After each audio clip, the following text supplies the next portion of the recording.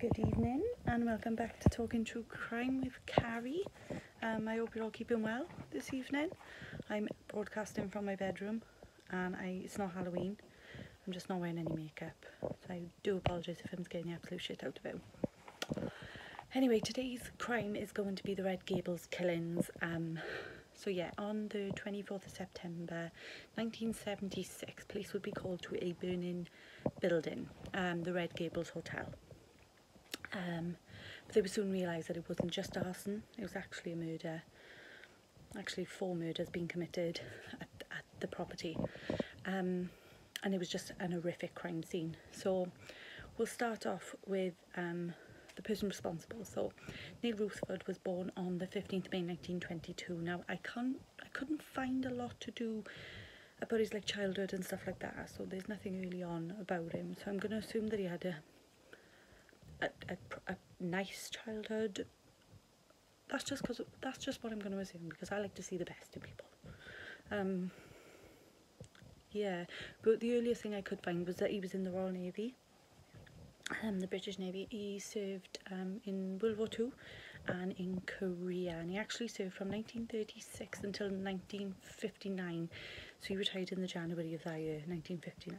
Um, so Eben went on to take over his um, a family business. So his father passed away and he took over the family business, which was called A. Ruthford and Co.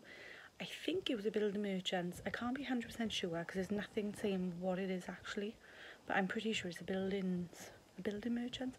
Anyway, um, that actually went into liquidation in the 1960s. So he went on then to work in the, the hotel. That was his next job afterwards. Um, personal life or private life I should say he was actually married um, in the August of 1948 to a Joan Marjorie Colville Hyde or Colville Hyde um, unfortunately they would be divorced by the May of 1972 so by the 1975 he was actually working in the hotel um, he was a gardener slash handyman. He would do the all, all the little odd jobs around the place and stuff like that. Um, the hotel, the Red Gables Hotel was um, in Penmaenmawr. I hope I said that right because I'm Welsh and it would be terrible if I weren't pronouncing it right. Um, and that was actually North Wales. So the locals were going to describe him as quiet, always on his own, um, kept himself to himself. Yeah, they never had any worries or suspicions about him. He was just, you know, just quiet. Um, a local landlord from the local pub would say that he would come in for half a Guinness, drink his drink and go. But the time that he did spend there, he would spend pacing the floor. He was quite fidgety. Um, yeah, that was his personality basically. Um, he took great pride in his gardening. He would often give um, things he'd grown to the locals, so tomatoes, etc. Um, yeah, so he took great pride in that, in his gardening. And like I said, the locals just thought he was a, apart from being just quiet and on his own, he was, you know, there was no, there was nothing saying indicating that he was going to turn into a murderer, basically. Um, so it was reported the Ruthford had actually vacated the hotel two weeks prior to the incident happening. Um, nobody knows where he went, nobody knows what he did or who he was with. Um, but then he actually returned on the day the crime took place, so the 24th of September. Um, the police were called to um, a burning down building, but when they got there, then they um, realised that there was a casualty outside. So there was a man on the road outside with a shot wound to the stomach, and he was bleeding from the nose. Um, he'd actually told the locals himself that he'd been shot. Um, the locals were trying to aid him, they were trying to put blankets on and keep him warm and stuff like that. Unfortunately, a doctor who arrived on the scene later on would pronounce him dead. Um, and this victim would be um, identified as Alistair Alistair Mac McIntyre, who actually turned out to be the son-in-law of the owner of the hotel. Um, yeah, so he was only 33 at the um, at the age of this.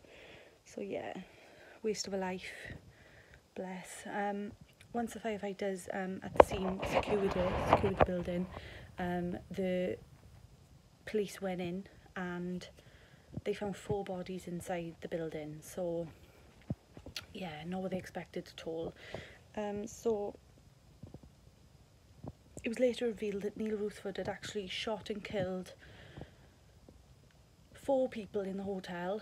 Alistair had managed to escape and get outside, but then obviously later died outside on the road, which is just dreadful. Um, but yeah, he shot three people, set fire to the building, and then turned the gun on himself.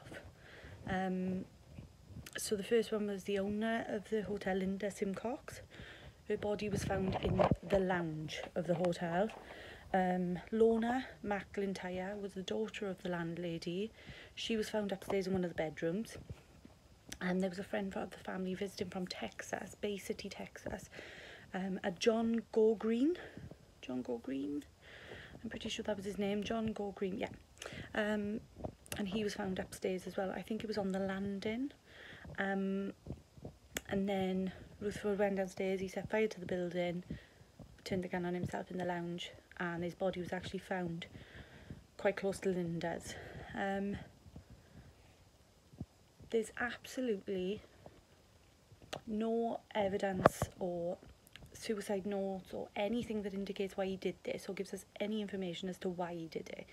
Um, people have gone in and to look for clues, but there is literally nothing, nothing could be found at all about why this man would have just all of a sudden decided to shoot and kill his boss and her family. Um, so police and investigators have just put it down to he just snapped. Um, I know they say that a lot of um, ex-servicemen um, suffered a lot of trauma and memories and you know strain from when they were in navy or the army. Um, but yeah there's just nothing. There's no there's nothing. There's nothing to say why he did it did anything happen beforehand. There's just nothing.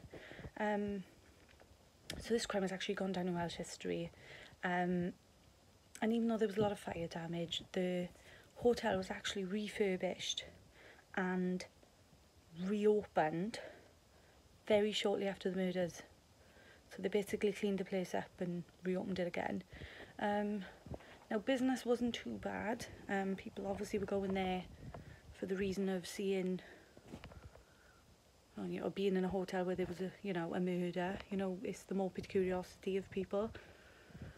Um, yeah, and then